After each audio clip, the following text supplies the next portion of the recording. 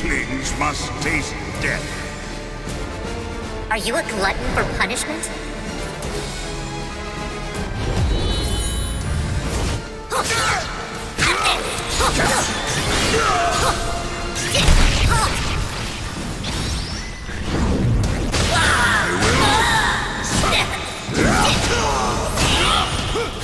How